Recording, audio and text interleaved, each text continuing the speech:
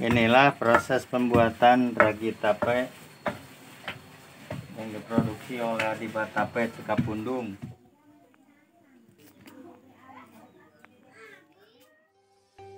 Assalamualaikum warahmatullahi wabarakatuh. Apa kabar sahabat semua? Kali ini saya lagi panen singkong Tepatnya berada di perkebunan karet. Saya lagi membantu orang tua saya Dalam sekali panen Kurang lebih 10 karung ya sahabat Ini untuk dijual Tapi singkongnya ke pasar Pamengpeuk Mau tahu proses pembuatan tape singkong? Ikuti terus ya, jangan di skip.